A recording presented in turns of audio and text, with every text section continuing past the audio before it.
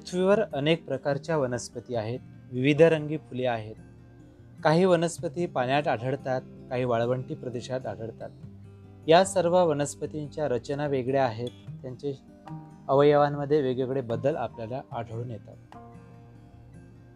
पानांप्रमाणे रंग बदलणारा सरडा पाण्यात वावरणारा बगडा उंच ठिकाणी आपली चोच पक्ष्यांच्या चोचीमध्ये आढळणारे फरक फुलांच्या रंगांमध्ये वासांमध्ये असणारे फरक ही सगळी जैवविविधतेची लक्षणं आहे आणि वेगवेगळ्या भौगोलिक परिस्थितीमध्ये जगण्यासाठी सजीवांनी केलेले हे अनुकूलन आहे.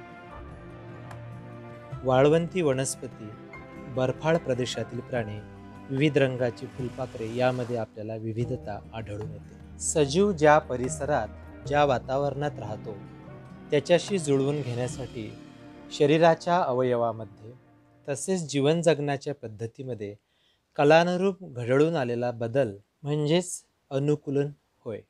या अनुकूलनाची काही उदाहरणे आता आपण पाहूया. वनस्पतीमधील अनुकूलन. निवडुंगासारख्या वाळवंटी वनस्पतीला पाने नसतात पानाचे रूपांतर काट्यामध्ये झालेले असते खोड हे मांसल असते खोडामध्ये पाणी आणि अन्न साठवून ठेवले जाते. वाळवंटी भागामध्ये त्याच्या खोडाच्या रचनेमध्ये झालेला बदल म्हणजेच हा त्यामध्ये असलेलं अनुकूलन आहे. पानाच्याच अभावामुळे खोडं झाडाची प्रकाश संशोधनाची कार्य करतात म्हणून ती हिरवी असते. कमळ ही एक जलीय वनस्पती आहे. पाण्यामध्ये याची वाढ होते. कमळाची पाने ही पसरट असतात आणि पानांवर मेणासारखा जाडसर असा थर असतो. त्यामुळे सतत पाण्यामध्ये राहूनसुद्धा याची पाने पाण्यामध्ये सडत नाही. याची देठे आतून पोकळ असतात त्यामुळे ती सहज पाण्यावर तरंगू शकतात.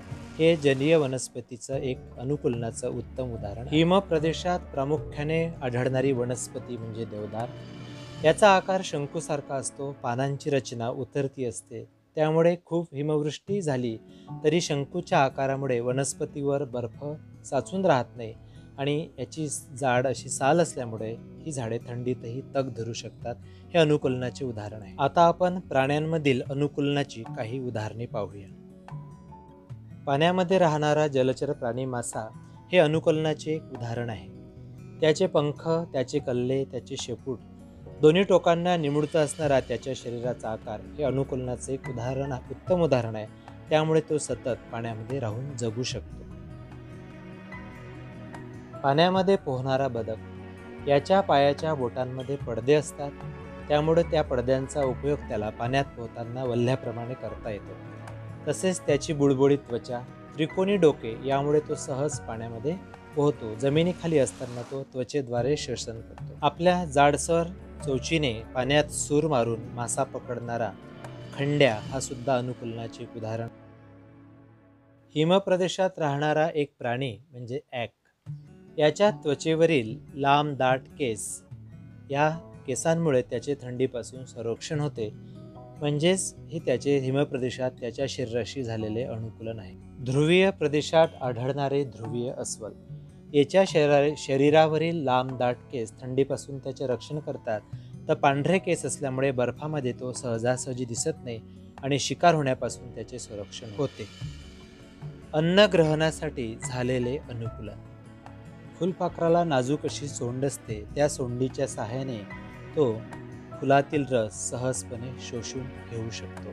हे अनुकूलनाचे उदाहरण आहे. बेडकाचा रंग त्याची लांब जीभ हे सुद्धा अनुकूलनाचे उदाहरण आहे. लांब जिभीमुळे तो दूरवर असलेलं कीटक सहजपणे पकडू शकतो.